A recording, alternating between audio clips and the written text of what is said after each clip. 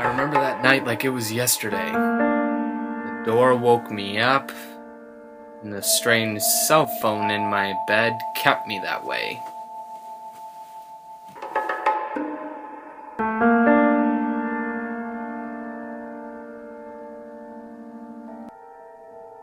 Something wasn't right. It was fuzzy, dumb. Couldn't remember a damn thing before my little nap.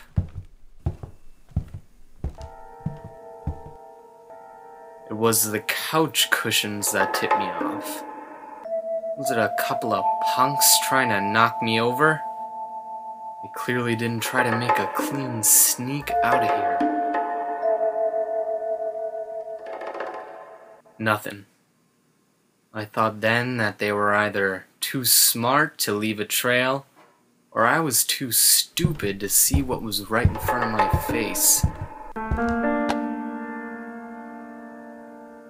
My booze was out. Either these muffs were helping themselves to a refreshment, or I was drinking for two. My head sure felt that way, anyhow. Oh, things stunk.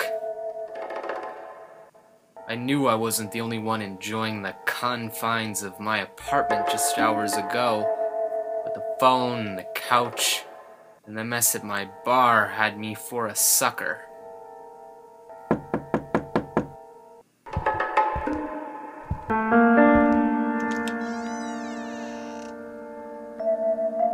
My neighbor tighten the screws on her. She didn't know a damn thing besides hearing a noise or two in the night. Yeah, some help she was. Seemed the trail had gone cold. No one knew anything, and I sure as hell wasn't any use. It wasn't until that night that the last puzzle piece fell smack in my lap. There it was. The big case just my forgotten drunken night with some dame. She's there now for her cell phone.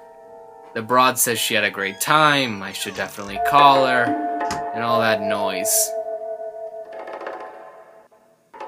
Hmm. All in a day's work.